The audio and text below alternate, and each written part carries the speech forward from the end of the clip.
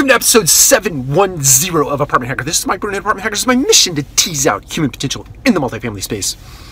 So we've talked about excellence and why it matters and why excellence is in the next five minutes, meaning whatever you do from right now until the next minute uh, demands a level of excellence uh, from you in terms of your production, your output, um, the workflow, etc. Um, it's it, it comes to mind again for me because uh, I, I, just received a, an org chart, internal org chart for our organization, and um, the grid lines in this particular org chart were, you know, kind of you could tell there was a cut and paste exercise that was done, and some of the leftover grid lines pointed to really nothing, or didn't ladder down, or didn't ladder up properly, and it's it's it's important.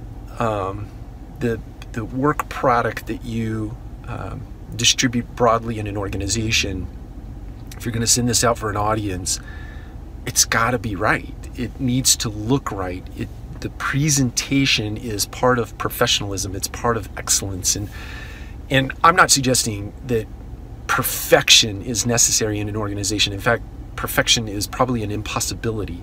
But the pursuit of perfection and you're landing somewhere in excellence is what you're after. But something that is otherwise so incredibly obvious, like grid lines not pointing in the right direction, not laddering up and down correctly, is a clear indication in my head that there's just not a lot of care, right? You, you gotta care.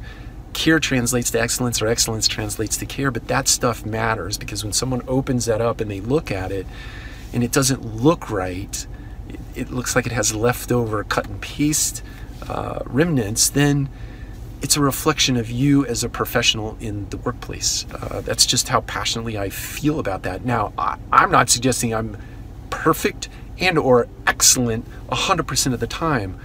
But when it comes to obvious things, I, I like to believe in my heart of hearts that we can see those things and we fix those things before we put those things into production. Um, so it matters. Excellence matters. Excellence is the next five minutes excellence for, for me as much as it is for you. Strive for perfection, land somewhere in excellence, and I think you'll be fine.